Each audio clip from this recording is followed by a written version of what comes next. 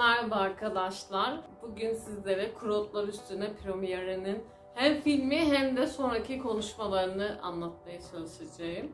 Ben filmi tamamen kendimle özleştirdim ama bu özleştirme öyle bir anda filmi izledim ama bu ben gibi değil. Şöyle ben filmi heyecanla bayağı hayatın yorgunluğu, bir şeylerin, sorunların yorgunluğu ki ben eminim sizde de böyle şeyler vardır. Bunların yorgunluğundan arınıp böyle o filme heyecanla, beklentiyle gittim ve e, işte Merve Dizdar'ı, Nuri Bilge Ceylan'ı, Ebru Ceylan'ı canlı izleyebilecek olmanın heyecanıyla, soru sorabilme ihtimalinin heyecanıyla gittim ve e, filmi çok güzel izledim, bekledim, izledim. Sonrasında işte ara verildi. Bu kısımları ayrıca dedikodulu anlatmak istiyorum. Nasıl? Şöyle. Şimdi biletleri ayrıca sat, satışı oldu. Öğretmenli salonları ayrı bir meblağ karşılığında aldılar. E, tamam olabilir evet e, mecburi yani alan kısıtlı, mekan kısıtlı ve herkes alamayabilirler. Ben bunu anlayışla karşıladım ve şey çok hoşuma gitti. Bu e, gelirlerin işte deprem bölgelerine ihtiyaç haritasına işte gitmesini zaten Mert Fırat da oradaydı. Sonrasında ama şöyle bir karışıklık oldu. E, film bitti, ara verildi. Diğer aynı anda bütün salonlarda başlamıştı bütün salonları bir salona toplamaya çalıştılar. Herkes aldılar ve e, bilet alan insanlarla almayan insanlar gelip oturduğunda bir münakaşa tartışma yaşandı. Ben böyle ortamlarda yani bunların yaşanmasını hiç hoş bulmuyorum. Bu bir dipnot. İşte organize eden arkadaşlar olumlu eleştiri olarak alabilirler isterlerse. İşte sonrasında işte filmi izledik, döndük böyle birkaç manzarayla karşılaştım. Bir de şöyle bir şey oldu arada, onu da söyleyeyim. Ben biletimi yayınlandı, yayınlanır yayınlanmaz aldım. Zaten iki saate bittiği söyleniyor. Alırken salon bomboştu. Ben perdenin olduğu yeri karıştırdım. Kendimi en önde sanırken bir baktım en arkadayım. Ve soru soramadım. Bu yüzden değil sadece birazcık da şununla alakalı o kısma da geleceğim. Şimdi filmi izledik işte. Ara verildi, gelindi. Buradan sonra filmle ilgili yorumlarımı yapacağım. Filmde öyle bir ilk sahne vardı ki ben bu ilk sahnede takıldığım için yaklaşık bir o ondan o kareden sonraki 10 dakikayı falan hatırlamıyorum. Yani o kadar çok o sahnede durup düşünmüşüm ki şöyle bir şey oldu. Filmin ilk sahnelerinden birinde öğretmenler odasında, köy okulunun öğretmenler odasında kahvaltı yapılıyor. Buradaki cinsiyetçi anlamda söylemiyorum kesinlikle. Ee, bulunduğu ortamdaki dışlayıcılıktan yani onu dışlamalarından e, kastım. Şöyle sonra bu bunlar böyle e, kadınlı erkekli kahvaltı yapıyorlardı. Bunun e, arkadaşımla daha sonra Bihter'le de tanıştık. Normal olması kadar normal bir şey yok. Fakat ben köy okulunda öğretmenlik yaptım bir dönem. Ve orada şunu gördüm öyle bir girdap ki öyle bir köy okulunun öyle bir ortamın içinde hiçbir şekilde böyle bir oturma ve kahvaltı yapma imkanı yok, yaratılmıyor. Mümkün değil yani. Dışarıdan gelen turistler olur, geziler olur, yabancılar olur. Bunlarla birlikte oturup yapılabilir. Ama oranın gündelik hayatın içinde öğretmeni, polisi, diğer gelen memuru hiçbir şekilde oranın o girdabın kuralının, toplumsal kuralının dışında hareket etmez, etmiyor. Ben daha aksini görmedim. Yani bunu bu Güneydoğu bölgesi ve Doğu bölgesini gezmiş, görmüş, yaşamış biri olaraktan söylüyorum. Nasıl ya dedim bunun niye koydu, nasıl böyle koyabildi gibi düşünürken ben filmin o sonrasındaki 10 dakikasını bayağı atlamışım yani. Zihnim bunda takılı kaldığı için. Samet karakterinin herkes kötü işte bıkmış şey olduğunu düşünüyor ama ben o karakterin o kadar yorgun olduğunu gördüm ki yorgunluğundan dolayı bu vazgeçiş hayatından pes ediş olarak düşündüm. Ki şöyle ben çoğu insanın da çevremde böyle hissettiğini gör, görüyorum, gözlemliyorum ve zaman zaman benim de öyle hissettiğim oluyor. Karakterlerin bu kadar gerçekçi oluşu bence yönetmenin, senaristin başarısından kaynaklı. Sevim karakterinin komplesini nerede kendime benzettim, içselleştirdim. Bölge insanı olaraktan işte.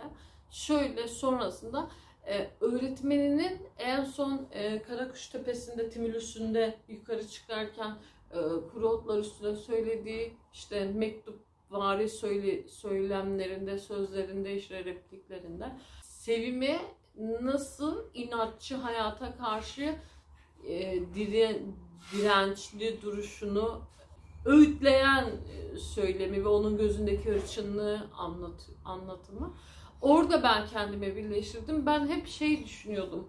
Ya bu bölgenin zor, işte mesela sosyolojide buna doğuda kadın olmak gibi kavramları da eklenirse zorlu ve engellerinin bir değil on olduğunu düşünüp ama yine de ben istediğim bir şeyse bunu aşmam gerektiği yönündeki e, fikirsel kendi işte kampçılarımla sevimi bütünleştirdim. Yani sevim benim hayatımda kendime kampçı olarak uyguladığım bütün hepsinin karakterleşmiş hali gibiydi, gibi geldi.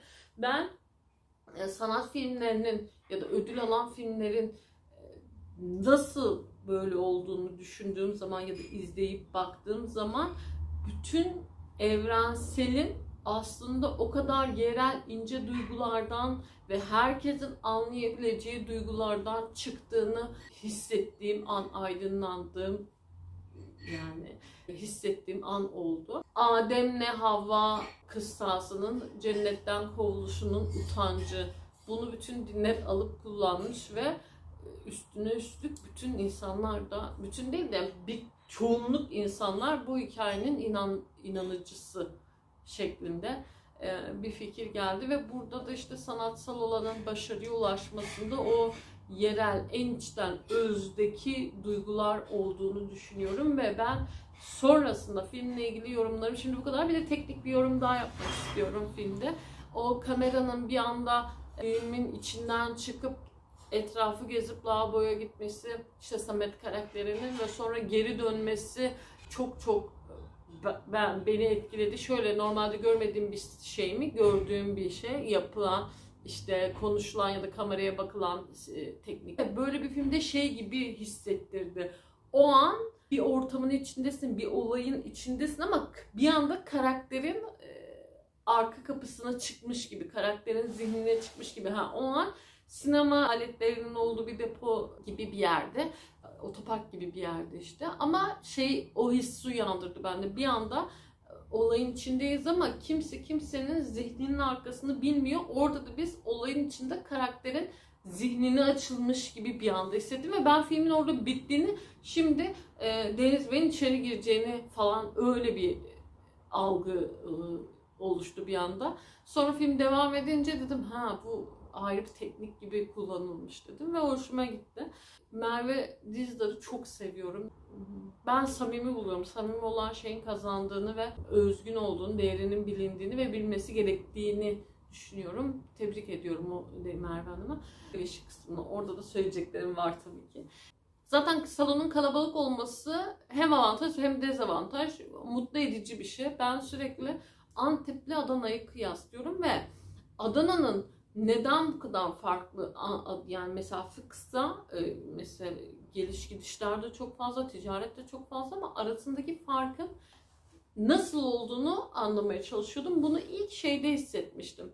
E, Adana'da sinema müzesi var. Sinema müzesine gittiğim zaman orada eski resimler var ve bu eski resimler çok eskiden beri işte ilk sinema e, başladığından beri açık hava sinemaları var işte orada ki sosyalleşmenin oradaki işte gençlerin mesela git burada bugün mesela akşamına e, gençlerin bir şekilde izin alıp ailesiyle ya da ayrı çıkıp orada buluşup bir şeyler yiyip içip filmi izleyip ardından bunun üzerine tartışıp ya da eğlenip evlerine dönmelerinin inanılmaz Adana üzerinde bir etkisi olduğunu düşünüyorum ben.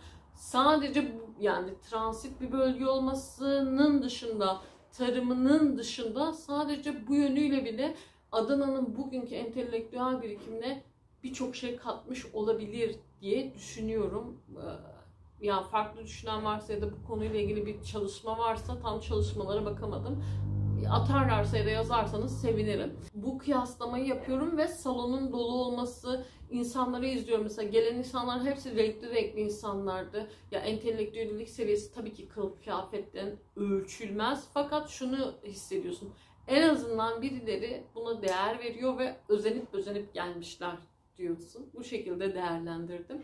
Sonrasında tabii en güzel kısımlardan biri soru kısımları. Yani ben o kadar güzel soru soran birkaç soru vardı. Onları e, heyecanla dinledim ve çok da memnun kaldım o soruları sormuş olmalarına. Ben o yönden bakmamıştım.